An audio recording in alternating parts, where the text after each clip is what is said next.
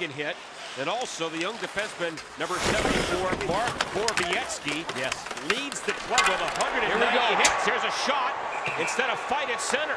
Reaves and Chris Neil as they drop the nets. Overhand rights by Reaves. Stuns Neil. He gets back on his skates. They're he not wants done more. yet. And now Neil gets him down. But Ryan Reaves landed an early right. Well, when you come off the road, many times that first 10 minutes on home is a little bit sluggish. That is one way to counter that. And I know Ryan Reaves was on the former Blue Cam Janssen's radio show today, and Cam Janssen set out a tweet and said, Reaves has got to go Chris Neil in this game. Well, he certainly did. A really good hit there, and they know exactly what's going to go on right there.